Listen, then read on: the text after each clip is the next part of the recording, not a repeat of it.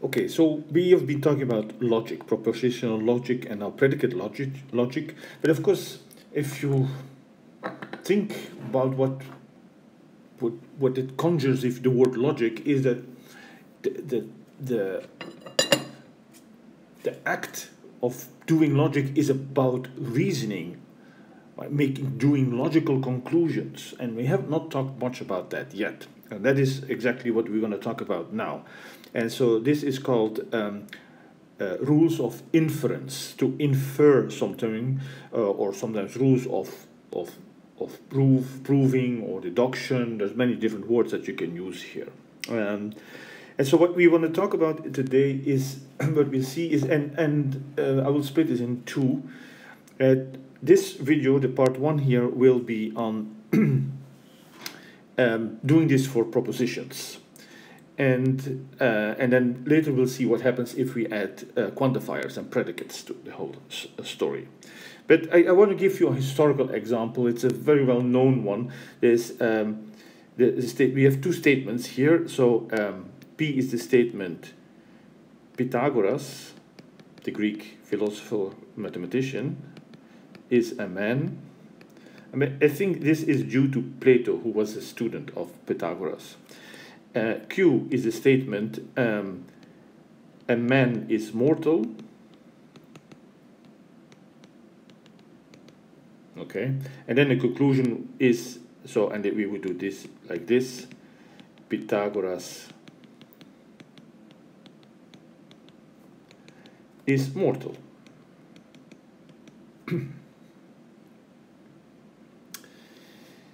okay, so uh, why does one is this a, we, we all accept that this is a valid conclusion. And why is this a, considered a valid conclusion? Now before i go on i should say that i'm actually presenting you the this um, statement in a in a way that avoids predicates but the original statement is actually uh, has a predicate in it and let me therefore uh, mention it to you and we will as i said discuss this later. Namely it would say that all men are mortal, and there we see the predicate, yeah? So for all x, for all men, px, the man is mx, m means mx meaning x is mortal, and then p, Pythagoras is a man. That, that is, of course, a single statement here. And so from these two, one can also make a conclusion, but that uses a different kind of uh, conclusion, uh, reasoning. So this one is, in some sense, a little bit uh, easier. And so it says that um, we, okay, so um, keep this so keep this as an example in mind of what what we consider a valid um, reasoning. But let's let's look at something that is perhaps a bit more straightforward. Something like I, am taking something from the, the the book, and it says, for instance, if you have a current password, then you can log on to the work network and you have a current password. Okay, so if you want to say this in other words, if you have a CUNY first password, you can log on into Blackboard. And the second statement is I have a CUNY first login account, uh, credentials, password, so I can log in. So let's try to uh, schematize this a little bit. So it says that so P is um, have valid password and Q is can login. Okay, so the statement is if you have a, a, valid password, then you can log in. So this would be if P, then Q. It would be an implication, right? That was the first sentence. What is the next sentence? I have a password. That is Q. Uh, sorry, P, P, not, not Q, sorry. P, right? I have, a, so. So we have these two statements, P then Q, and also P holds. And so therefore we say the conclusion, so this, these three dots is a way of formaling, formalizing, uh, you can conclude. And notice that we also put a line. What this means is that what follows under the line is a conclusion that, that comes from the, the statements that are made above the line. So what I'm actually uh, presenting to you is what we call a, a proof system, where we have various uh, we, if you we have done some proofs a little bit you have seen proofs in the, in the past. It's a bunch of statements one after the other and normally one follows from the other okay? So it's a sequence of deductions. And so when we when we uh, write so in this case we have two statements and from that we want to deduce a new statement so that's what this line and the symbol all both together mean uh, the line is just to make to make a distinction between what comes from before it and what we the, the, uh, conclude. And so the conclusion is, if you have a valid password, then you can log in. You have a valid password, so you can log in. Hence Q. And that's a kind of obvious thing, right? If you say, if P is true, then Q follows.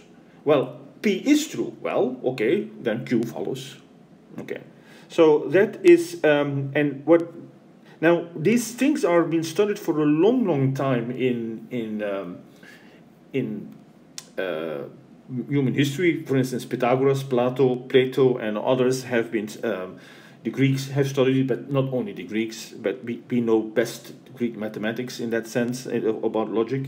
They we have more writings of them, and so uh, this has got uh, received the name, but it, somehow we now use the Latin name. And this is called, and that is something you have to get used to, but we're going to use this. So modus ponens. Okay? And it helps to understand what these words mean. So I'm going to teach you a little bit uh, Latin. Modus is the same as mode. So it's a mode, it's a particular mode of thinking and the mode of thinking is ponens. Now, ponens is consists of two parts. The, the, the verb is ponere, which means to put, to put down, to and therefore to affirm, to confirm. Now, the ens means it is uh, as our English ing, so it is putting down, affirming. Okay, so, and, and, and the fact that it's ENS and in English it's E-I-N-G, it's not a surprise, it's not by coincidence that they're so similar because they are both languages coming from uh, one old ancient language we would what we call Indo-European. Many of the languages that we know come from that one single language and therefore are so similar. Okay, so this means the mode of affirming. And this is what you have you make a statement P then Q, and now you have also that P is true. Now you therefore you confirm yes, if P then Q, and I also know that P, therefore Q. Okay? So that is what we call modus ponens. Now there are many, many more, and what we're gonna do is look at all of them, and uh, we, we kind of not all of them are as important as as the others, but I want to uh, point out one in particular that is very important and uh, also carries a Latin name. Okay, so let's look at the same thing here. P has a valid P. We have a valid password. Q is can log in. What about this statement? So this was modus ponens. Remember, this one will be some, called something else. The same statement. If you have a valid password, then you can log in. Now, suppose you cannot log in. What does that mean? It can only mean one thing. If you cannot log in, that means you don't have a valid password. So the conclusion is not P. That's perhaps a little bit surprising if you see it formally like that. If in this particular example it's kind of clear, but it might not always be so uh, obvious. So let me give you well, first of all, I give you, let me tell you what the name is of this thing. This is called modus tollens. So it's very similar in name, and that's perhaps sometimes a little something that you have to get used to. But here, tollens, uh, so modus again, the mode, tollens means to carry. Tollere is to carry. So it's the, the, the, the mode of carrying, where the other one was the mode of putting okay it might not immediately clear why this is why we call this right but you see what it what the difference are in the first case we have a positive confirmation of the hypothesis. In the second case, we have a negative confirmation of the conclusion. And therefore we conclude that this is. Now, when I do this on the example, I think you understand that this makes sense, right? But what is really going on? And I want to show you what is really going on. Well, this is logically equivalent, and there are many things that is logically equivalent to, but one it is logically equivalent to is contraposition. This is logically equivalent with not Q, then not P. That's something we did a few lessons ago. Now look, if, if I would use it this way and I still have not Q, right? That hasn't changed. Now, not Q implies not P, whatever that means, right? But we know that not Q is true, therefore not P. And that's exactly what we conclude. So in other words, what I'm trying to say is if you, the green part here is logically equivalent and then you do actually modus ponens on that green one to make your conclusion. So modus ponens and modus tollens are two, let's say, two coins, or two sides of the same coin, of the same thing. They're just two different ways of formulating the thing. But it can be very, very useful in arguments to have both of them. So that's why we give a name to both of them. Now, it might have been something you say, well, it surprises me. I would have thought, so I'm going to do it in red because it's wrong, that it would be this. P then Q and not P, therefore not Q, right? Let's think about this. Even in this simple example, it's clear that this is not correct. Remember, in red means it's not correct, right? So don't don't don't start jotting this down already. Uh, why? Let's think about it. If you have a valid password, then you can log in. I do not have a valid password. So, okay, uh, you, you might say, okay, yeah, you, then you cannot log in. Well, what about if you, uh, if you don't have a valid password, you cannot log in? Yeah, I, I guess perhaps this is not the best uh, case because it, it kind of um, it, in fact, we actually say you have if you have a you, you can log in even only if you have a valid password. Okay. So, but if you don't have a valid password, well, let's think about it. Suppose that um, this is an old system, and in the system, old valid password or current passwords can be used, but the system somehow doesn't delete the pre-old users. So even if your password is no longer current, it could still be that you can log in. Now, I agree this is not a good example. So let's do another example where you hopefully have um,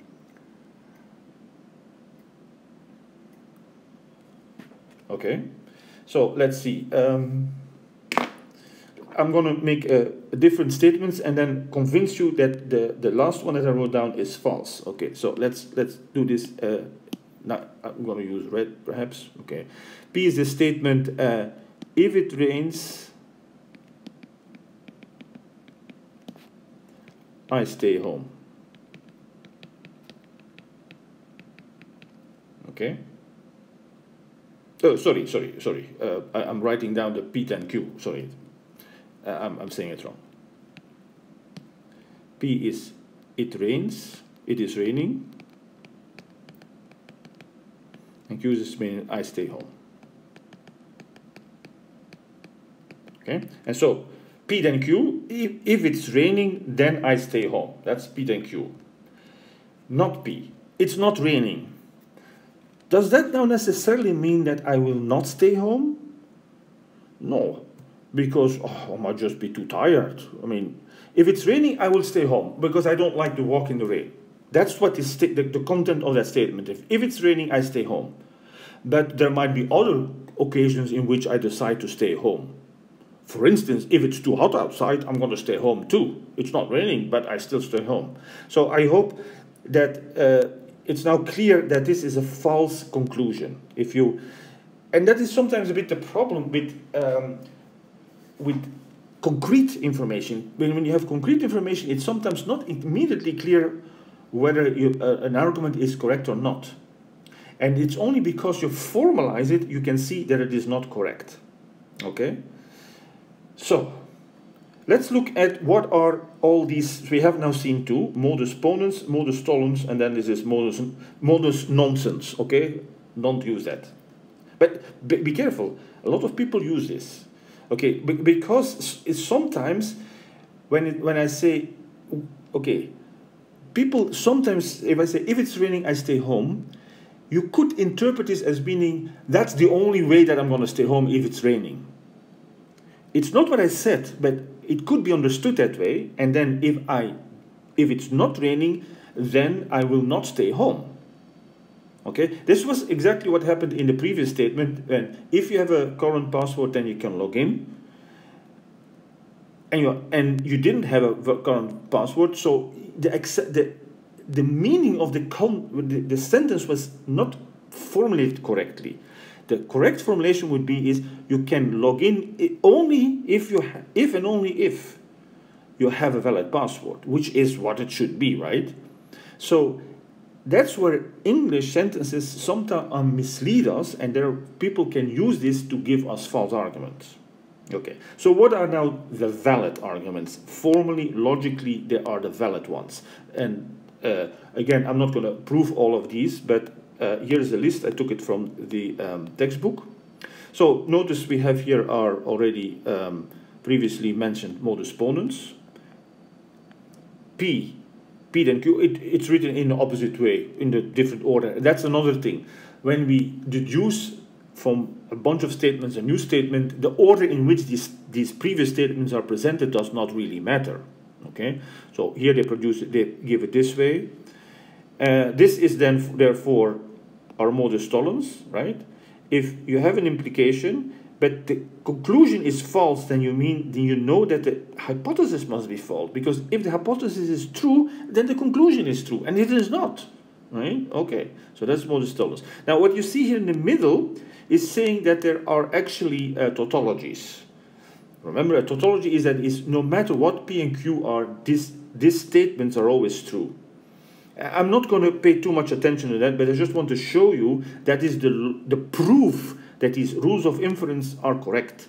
Namely, you have to show by using a truth table, if you remember from the, first sessions, uh, that this is a tautology. So in other words, no matter the values of P and Q, this always comes out to be 1, true.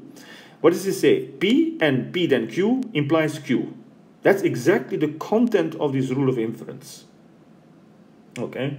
Now, I'm not going to go to all the rest of them, but you see it is backed up by logic, so to speak. Let's look at a couple of them. And this is another very important one. And uh, this is the kind, the one that we that I just described somehow.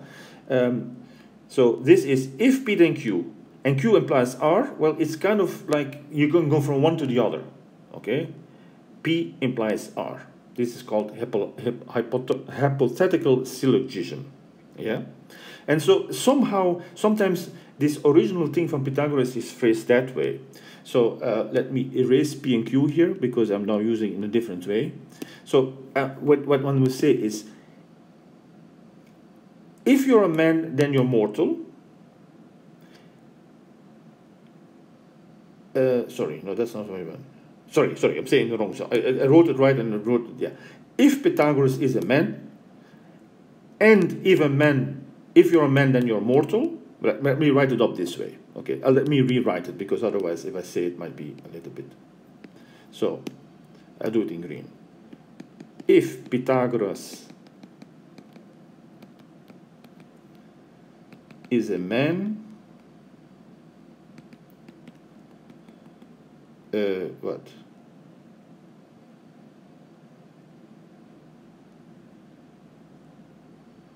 No, sorry, I lost my train of thought here. Uh,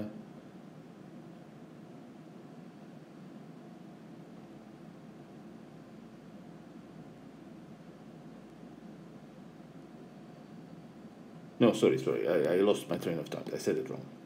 Okay, if you are Pythagoras, then you are a man.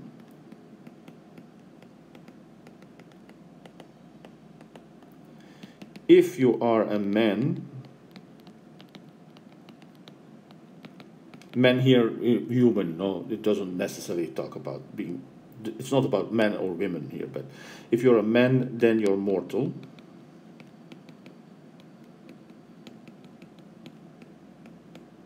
So what is the conclu conclusion now? So if this is then P, this will be Q, this is Q, and this is R, right? So P then, from P to Q, from Q to R, P then R.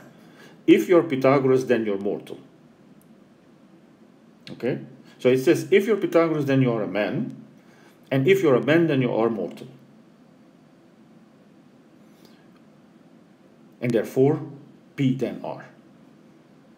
Okay, it's not a very telling uh, argument. I admit here a little bit. I had to tweak it a little bit because, as I said, original one is actually with um, using um, quantification, and we will I'll, I'll, I'll, we'll look at it later. Okay, so this is a rule of uh, hypothetical syllogism. So this is another important name here that we have, hypothetical syllogism. And in some sense, these three are the main ones. And there are a couple of other ones here. Um, I'm not going to look at all of these because we not they're not always, well, okay, they are used here. Let, let's look at this one. What does this one say? P or Q, but not P. Well, if it, P or Q is true, that means that P must be true, or Q must be true, or both. Now we know the next thing says, well, P is not true. Ah, if P is not true, but P or Q is true, the only way that can happen is just because Q is true. Okay? Um, I'm not going to use these names anymore. It's these three names, so let me therefore uh, mark them in like uh, purple. It's these three that really are used, the names that we use often. And they are used most of the time. So uh, it's the, these, the three, the three major ones, modus ponens, modus tollens, and hypothetical syllogism also sometimes just called syllogism. Uh, so let's look at the next one. Um, P, P or Q. That sounds a bit weird, right? So this would say, I am Pythagoras, and this say, I'm Pythagoras or I am a cat. Yeah, okay, if, if, if, if you're Pythagoras, if that's the case, then it's also the case that I am Pythagoras or I am a cat is also true. That's true. Okay, this is some, they, they call this addition here. P and Q. If I'm Pythagoras and I'm a cat, well, in particular, I'm Pythagoras. That's what this says. And of course, by the way, this also from this you can also conclu conclude that I'm a cat. Q is also true. So let me add that here, although it's not mentioned here, but this is true that also Q follows from that. So not one thing, but two things follow from here. Okay, that can happen too. And this, sometimes you have to be flexible here if you want, of course, the, the, the real thing behind this is that these two things are logically equivalent. The order in which we take a conjunction is uh, not important. And then the last, the, the next one is also kind of obvious. P, P, that's a true statement. Q, true statement. Well, then, of course, P and Q is a true statement. That's just conjunction, right? This one, I they give a name to it, but I'm not gonna uh, uh, discuss it too much. Okay, so that's the rules of inference, inference, sorry. So let's now see whether we can put this to work, okay?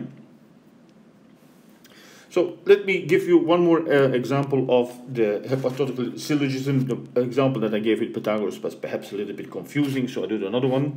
So again with the rain, and so P, it, it is raining. Q is the statement um, we have a barbecue. BBQ and uh, R is a proposition we have a barbecue today. Sorry and R is a proposition well in the textbook they say okay okay I'll, I'll follow the textbook in the textbook they take the negative here. I, I, I thought I was not going to do that, but this perhaps better. We don't have a barbecue today. And R is we have a barbecue tomorrow.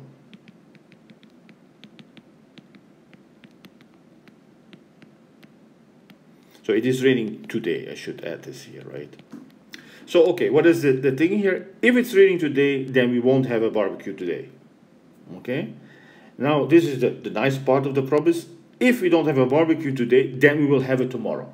So it's kind of a guarantee we're going to have a barbecue. Don't worry. Okay? So what is now the conclusion? Hypothetical syllogism. Well, if it's raining today, then we will have a barbecue tomorrow. Notice that on its own this might not sound correct, but it is correct because we have been told that these two truths are valid.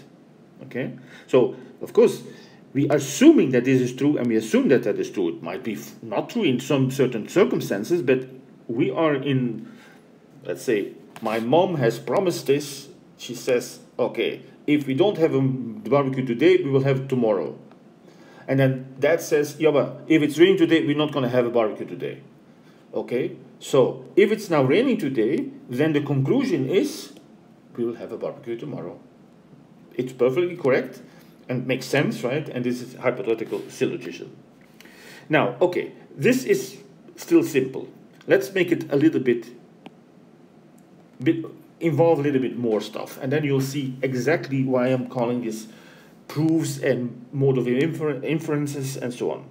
Okay, so P is the same in, uh, it's sunny, it is sunny, um, it is sunny this afternoon.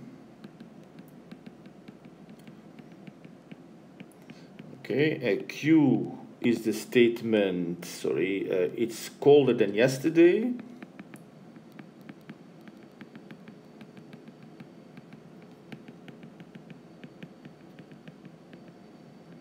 It's colder today, sorry, it is colder, um, sorry, sorry, let me see here. It's colder today, I guess, yeah, than yesterday, didn't set this here. The next one is uh, we will go swimming.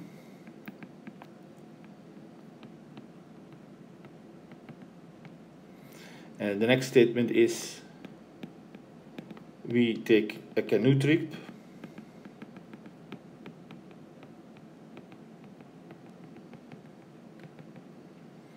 And the last statement is uh, we will be home by sunset.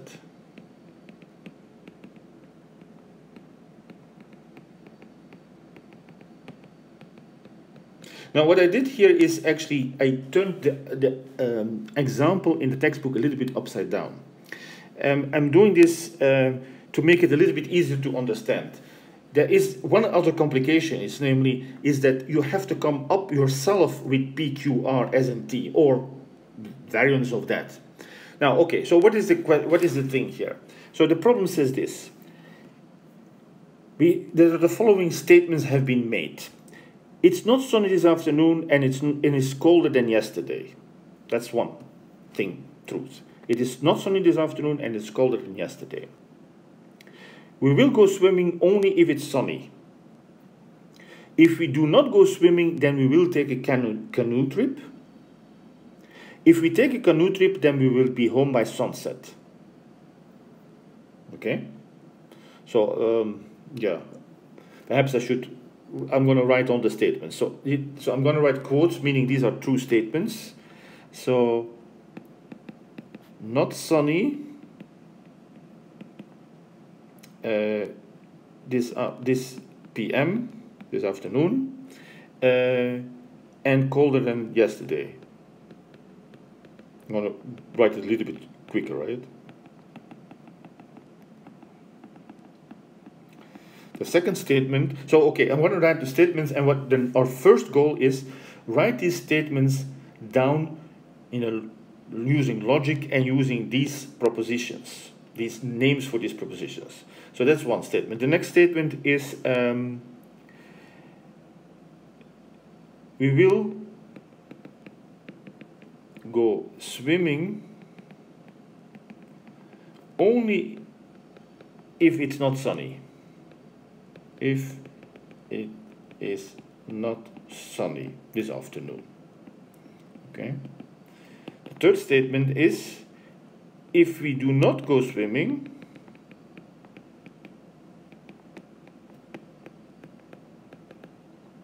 sorry, swimming, then we go canoeing. Let me write it just like this. I'm not sure that how you spell canoeing, but okay. And then finally, if we canoe,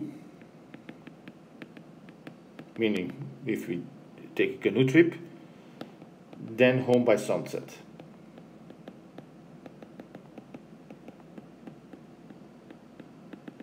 Okay, so these are the four statements. And the first thing that we have to now do is using these propositional variables, P, Q, R, S, and T. They stand for these particular sentences. Write is like that. Let's look, look at the first one. It's not sunny this afternoon and it is colder than yesterday. So we see that this involves these, these two guys, right? P and Q. And what it does it actually say? It says it's not sunny, not P. It is colder today than yesterday. It says that. So and Q. There's an end here, so it's important that we pay attention also to how these are the statements are made, right? If that would be an or, that would be a different thing. Mm -hmm.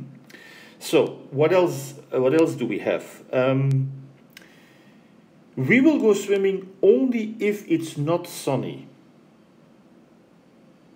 So okay, this is a bit weird English, of course. Only if it's not sunny. So, it what does that mean here?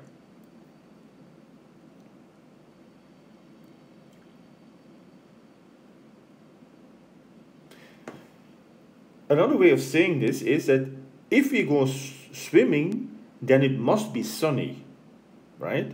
So one way of, of formulating that, oh, sorry, is uh, if we go swimming, then it's sunny. I agree that there are other ways of writing down this statement using, for instance, if it's not sunny, then we will not go swimming would also be correct. That's the contrapositive of what I wrote down. And that is, of course, uh, sometimes because English is not mimicking literally our formal logic system. We have already encountered this several times in homeworks and in other problems. So, but this is definitely one of the things. Like let's re rewrite, reread this. R if R then P. If we will go go swimming, then it is sunny this afternoon. We will go swimming only if it's not sunny. Oh, oh sorry, sorry. Uh, I, I, said it. Yeah, no, no, right, right. No, wait. Um,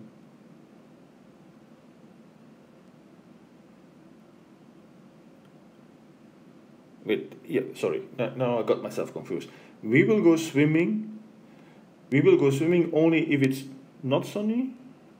No, no, I'm so sorry about it. I, the first time I read it correctly, and now the second time I said so, not sunny. Of course, we will go swimming if it's sunny. Duh. Okay, sorry about that. That's why I confused myself a little bit. I had I, I had said it right, I think, the first time, but then I wrote it wrong the second time. So right, so that's of course what I meant to say, right? We will go swimming only if it's sunny. That means that if we go swimming, then it must be sunny. R then P. Okay. So the next statement is uh, if we do not go swimming, then we'll take a canoe trip. So now we are talking about uh, P and S. And how does it say? Well, not P implies S, right?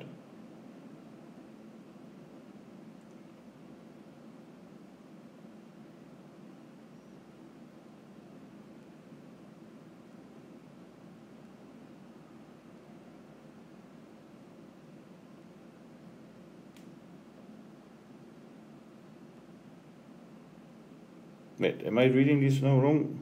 I'm sorry about this. Um,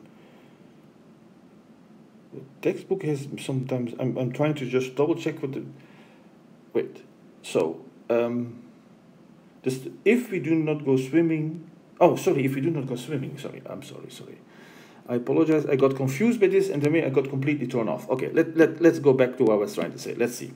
If we do not go swimming, so we R talking about not are, then we go canoeing. We talk about S. So not R implies S. Okay, all right. And then the last sentence says, let's let's mark it it's because I didn't point and that's why I got myself confused. If we canoe, so if we are if S true, then home by sunset, then T. If S, then T. Okay. Now we I haven't said actually what we can conclude from that. So the purpose now is conclude the following thing that might not be immediately clear that these statements imply in particular that we will be home by sunset.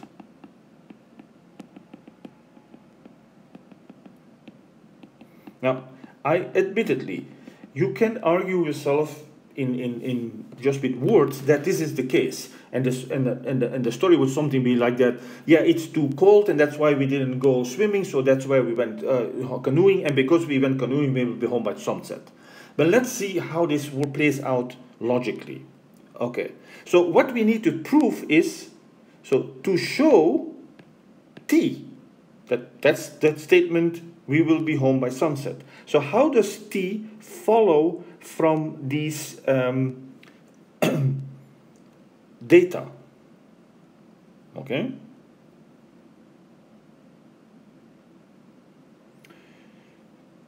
Okay, so how do you solve this? This is not so easy if you want to do this formally, and you somehow have to go backwards, try to reason backwards. Let's see.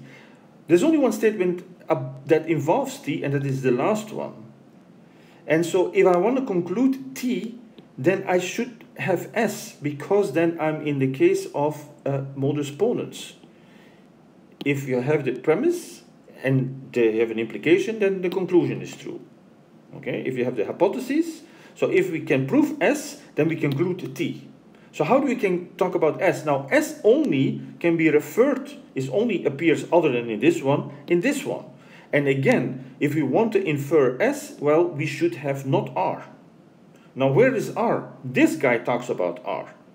And but now look, it's no longer R at the back here, R is in the front. And in fact, we don't want R, we want not R. Okay, so so it seems that we only have to work our way back up to the very first st statement. Now, what can we do? We know that not P and Q. Remember, one of the rules here, and this is actually the one that I had said here, actually means that if you have a statement of an, a conjunction, then you know that each of the so-called conjuncts, each of the subparts must be true. Okay, so from this line, and, and so the book numbers them, I'm going to just do, draw arrows. From this, we can conclude not P. I can also conclude Q, but if you notice, Q is actually not playing a role in the rest of the argument. And if you hear this thing it's it, that colder than yesterday, what on earth did that to do with us coming home today, right? There was nothing else about yesterday anymore, okay? So I'm going with not P. So from that, I conclude not P. Now, I have, now these two, I can put together as follows. I have R than P, so I'm using this guy now. And I have not P, which I just got here. I'm putting them both here. So this is how I, I'm going to present it, right? I'm going to tell you always where they come from. And so the idea is anything that I have already obtained in my previous list, so I'm creating a list of statements, and all these statements are true. Okay? And that is what inference means. And I can use anything in the previous list to conclude the new thing. So here's my new conclusion. Because why am I? This is something that I previously proved. Okay, it's now part of my list. That was my first step, put it in the list. This was already in the list. Sometimes it's called an axiom or a premise, and this is something that we concluded. Now, what can we do with this one? Oh, this doesn't work. The, the P is on the wrong side. Is it? Remember, modus tollens. If you have an implication, but the conclusion is not true, then you know that the hypothesis could not be true. So what we can conclude from this is, very careful, not R, right? Not R. Good. Remember, I'm getting trying to get T, and for that I needed S. Ah, but now I'm getting there, right? So what I'm going to do next, I'm going to use this guy. Uh, uh, it's there, I don't need to copy it, but it is clearer if I copy it one more time. I have this guy, so I'm going to copy the two. Um, that's okay, it often improves one, repeats oneself, just to make clear for everybody that is uh, trying to follow the argument here. So the two sentences or two statements I wrote down are two statements because they come from my previous list. And so now I can conclude. So, okay, I should have put this here. This was modus, what was it? Modus tollens, right? I said I'm not going to give a name to this one here. Now what I'm going to use here? Modus ponens. I hope that is Clear? Because now I have the hypothesis, I have an implication, so the conclusion must be true. S. And you see the way now towards T? Yes, I use this guy. So S then T. I use this guy, S, S. And again, modus ponens allows me to conclude T. Okay, so that's uh, how rules of inference work. Um, I'll do one more uh, from the book also, and this time I'm gonna tell you the, the I'm gonna do the problem um, without actually already telling you what P, Q, and R, whatever are. So here are the statements. If you send me email, sorry, I, am dropping a little bit. The English is not very nice, but make, make it shorter.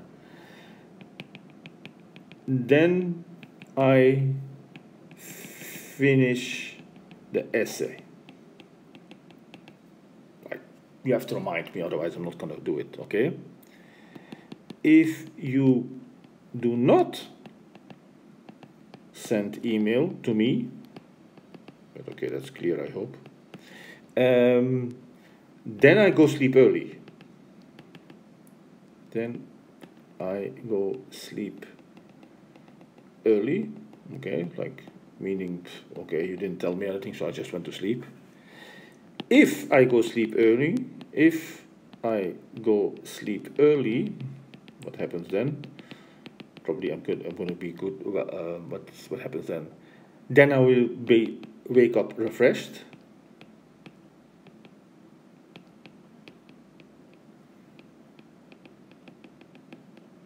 Refreshed in the morning. That's good, I guess. And then finally. Um, Oh, no, that's it. That's are the three. That's the three statements only. Let me double check here. Uh, yep. So conclude from these statements the following. If I do not finish the essay, then I will wake up refreshed. Then I will wake up refreshed. Again, you might somehow see why this is true, but let's now, the whole point is on a test, on a quiz, I need to see this solved the way I'm going to solve it now, not just by, or by words, by saying in words what you think is going on. I'm not saying it is wrong, but that's not a course. The course is about formal logic and rules of inference, and that's what you have to present, be able to present. So let's give names to everything here. Um, let's call this uh, clause P. You send me an email, oh, sorry, not if, right? You send me an email that is P. Then uh, let's call, uh, I finish essay, let's call that Q. Okay, so what is this then? Then, well, we know what this is, that's not P then, right? So this part here. That's going to be not P, so I don't need to give a new name for it. I go sleep early, that I'm going to call that, uh, I'm going to follow the book here, um, R. Um, ah, this is the same guy. I go sleep early, that's R again. So this was not P, right? I'm gonna, this was R again. And then uh, finally this one, I'll, I'll call this S, I think. Yeah, this will be called, I will wake up refreshed S. So let's, each of these statements must now result into a propositional expression. Okay. The first one says if P then Q. Very easy. What's the second one say? So let's call them 1, 2, and 3 so that you can follow. This is 1. 2 says if you not, not P, then R. And 3 says R, then S. So what is now what I have to do? I have to start from, so to show so what is the thing that I have to show? Because that's also something that I have to write down uh, in a formal way. Previous time it was easy, it was just one proposition, but here it's a bit more complicated. It actually is a, um, an if-then statement. So let's see. What is this one? That's the negation of Q, right? So not Q, it's an if, then what happens? Wake up refreshed, that was S. So not Q, oh, what was that for a weird thing? Yeah, and that's weird, but that, that somehow it, okay, now I can, S, okay. So how I'm gonna get to this particular guy, okay? And what this shows is that it might, okay, what we have is, there's a, a, the first thing we should you should think of, I mean, uh, granted, you, this is new all to you, but if you do this a lot, the first thing comes in mind is, oh, this is about different implications and we can con somehow concatenate them, right? P then Q, Q then R, so P then R. So we're thinking hypothet hypothetical syllogisms. Does this, but that means you have to have this kind of match, match up, right? This conclusion must be the premise for the next one, must be the hypothesis for the next one. Let's see, do, are we in such a situation? Uh, this, yes, this fits well. Oh dear, this doesn't fit. This is, doesn't fit at all. Now, one thing that we are allowed to do, and that is, uh, is somehow different from the, using the rules of inference, is using logical equivalences. What is this logical equivalent to? We have talked about this. I've given it already when we talked, the, the, when we showed that modus tollens and modus ponens were really one, uh, one, two birds of the same feather. No, it is one third, two coins, two sides of the same coin. That's the, uh, namely contraposition, not Q, then not P. So although I formulated this as if you send me an email, then I finish the essay, I could have said if I do not finish the essay, that means that you didn't send me an email. So if I don't send the, finish the essay, that means you have not sent me, then you did not send me an email, correct? That's same content. That's because logically they are equivalent. Now we are gone, right? Now we can, now our, we can uh, put our uh, hypothetical syllogism, I know it's a weird, bit weird word, but okay, hypothetical syllogism uh, at work. Not Q, let, let, let, I'll show the steps. Not Q, then not P, not P, then R. So on these two, sorry, that's not what I meant to do. On these two, I'm going to use uh, my hypothetical hypothetical that says the, the, earth, the first hypothesis implies the last conclusion.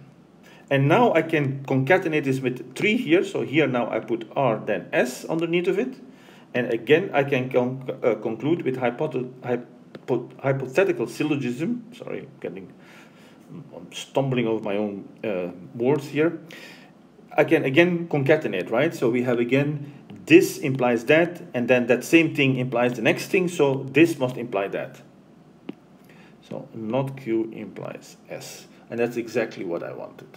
Okay, so we can use the rules of inference just straightforwardly, or sometimes we can play smart and we, we can replace a, a particular uh, statement by a logically equivalent statement. And this, this means that there's, that also means there are many ways of doing it, and that makes it sometimes a bit difficult uh, to say whether something is correct or not, because there's so many different ways you can go this, go by this. But there's often a, a shortest and most like a, an optimal way to do this, and this definitely is one of them. Okay, um, so I talked already about what would be uh, the wrong conclusions, right? So I um, I don't want to talk about that now again, and so this is uh, as far as I want to go about rules of inference involving just propositions, and so the next uh, part will be on quantified statements.